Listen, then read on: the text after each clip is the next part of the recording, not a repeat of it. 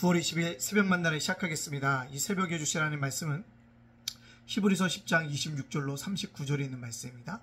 히브리서 10장 26절로 39절에 있는 말씀. 히브리서 26장 히브리서 10장 26절로 39절입니다.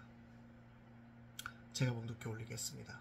우리가 진리를 아는 사람을 지식을 받은 후 짐직 죄를 범한 즉 다시 속죄하는 제사가 없고 오직 무서운 마음으로 심판을 기다리는 것과 대적하는 자를 태울 맹렬한 불만 있으리라.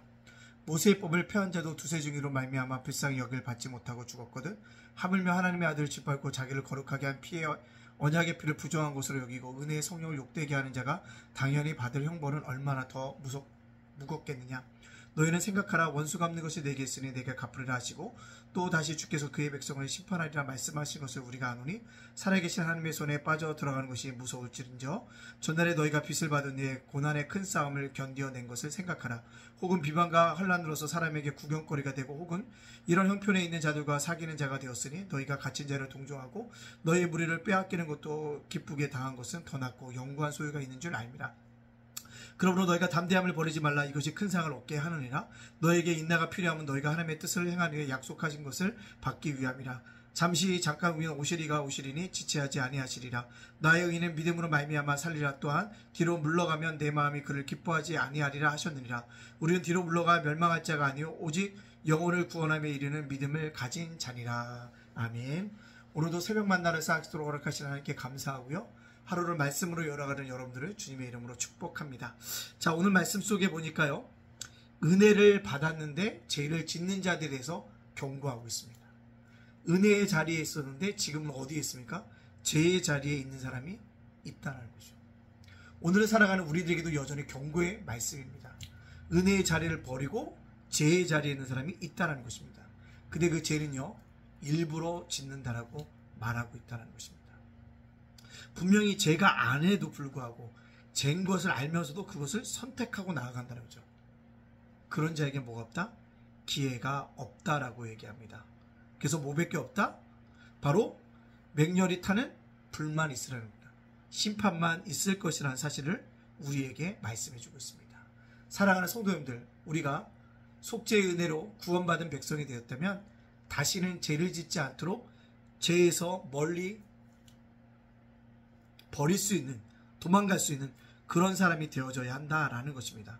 분명히 기억할 것은 하나님이 은혜의 자리를 알고 다시 죄의 자리를 가는 사람에게는 하나님의 분명한 뭐가 있을 것이다? 심판이 있을 것이라는 세계를 꼭 기억해야 합니다. 또한 왜 그렇게 냐 은혜의 성령을 욕되게 했기 때문이라는 것입니다. 따라서 우리가 은혜의 자리를 복지하고 죄의 자리에 앉는 순간 성령을 욕되게 하는 것이기 때문에 심판을 받을 수 없다는 이 경고의 메시지를 듣고요.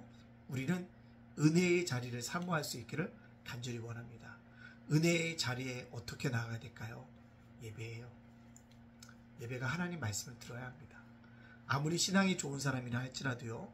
주일날 예배 와서 예배를 듣지 않고 강단에 흘러나오는 말씀을 붙잡고 앉아보면 미안하지만 세상 사람들과 똑같이 되어집니다. 그래서 우리가 뭔가 교회 와서 말씀을 듣고 강다에서 흘러나오는 말씀을 붙잡고 하루를 살아갈 때 일주일 동안 삶을 살아갈 때 은혜의 자리에 동독하게 세워지는 은혜가 넘쳐나게 되어 줄 줄로 믿습니다. 또요 은혜의 자리에서 제약이 서리지 않기 위해서요 하나님의 살아계심을 날마다 두려워하라는 것입니다. 하나님이 내 앞에 계십니다. 두려운 마음으로 살아가는 제가 여러분이 되어지기를 간절히 소원합니다.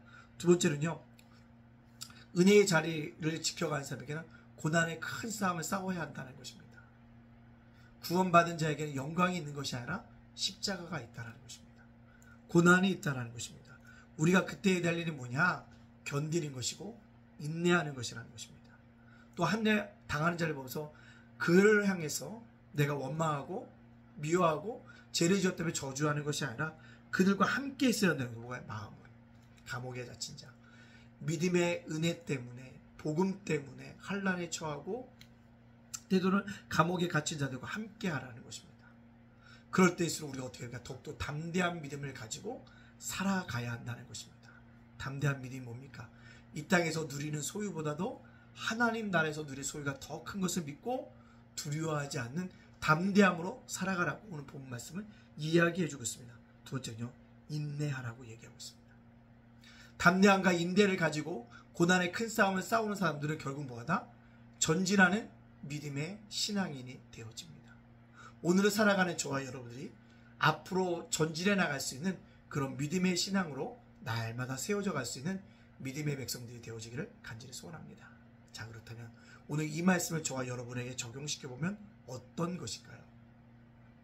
전진하는 믿음이 있다면 저와 여러분, 우리의 믿음은 전진하고 있는가? 되물어야 되고 하나님 앞에 분명히 기도해야 합니다. 그래서 어떻게 내 영혼이 지금 어디에 있는가? 하나님에게 있는가? 세상에 있는가? 바라봐야 되는 거죠. 내 영혼이 하나님과 관계를 신실하게 맺고 있는가? 거짓되게 믿고 있는가? 솔직하게 하나님께 고백하는가? 가면으로 하나님께 나아가는가? 영혼의 문제를 하나님과 깊이 친밀의 관계를 누리고 있는 사람들은요, 전진해 갑니다. 솔직해야 돼요. 기도할 때요, 힘들면 힘들고, 원망할 때 원망하고, 어떻게 하나님의 뜻을 찾아갈까? 회개함으로 은혜를 강구할 수 있는 그런 영혼들이 되어 때 믿음이 전진해 가는 줄 믿습니다. 또요, 내가 가지고 있는 육체요. 결국 태어난 육체는 어디로 갑니까? 미안합니다. 새벽부터. 우리 무덤으로 가는 거예요. 죽음으로 가는 겁니다. 죽음을 향, 죽음이라는 역을 향해서 달려가는 것이 우리의 육체의 삶이 아닙니까? 그렇다면 이 육체를 어떻게 해야 될까요? 성령이 기뻐하시도록 제어해야 되고 경건의 연습을 하여 주므로 말미암아 우리가 더욱더 주임을 닮아가고 제어하고 절제할 수 있는 그런 삶을 살아가길 수 있기를 간절히 소원합니다.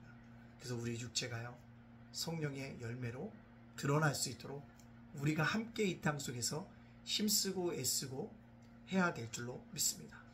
또 넘어질 때 있어요. 그렇다고 할지라도 저주하지 말고요. 다시 일어나서 육체를 제어하고 경고를 연습할 수 있는 저와 여러분으로 살아감으로 말미암아 나의 믿음이 조금씩 조금씩 믿음으로 전진해 가기를 원합니다.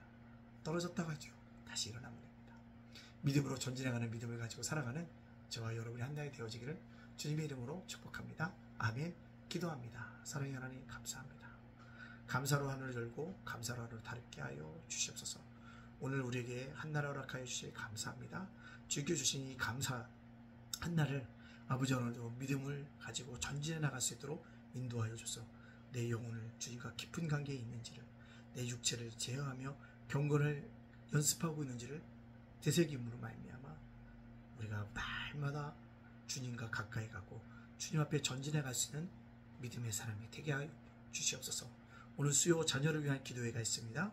성경 공부 시간에도 함께하여 주시고 자녀를 위해 기도할 때 그 기도가 자녀들 속에 아름답게 열매 맺게 하여 주시옵소서. 수학 돌봄도 있습니다. 코딩 수업도 있습니다. 함께해 주시고 전도의 현장 속에서도 주님이 우리와 동행하여 주시옵소서. 오늘을 살아가는 우리 성도들, 자녀들, 예담교회, 재가센터, 작은 도서관, 윤슬 목사와 저의 가정을 지켜 주시옵소서. 모든 영광 주님께 돌려오며 예수님의 이름으로 축복하며 기도합니다. 아멘.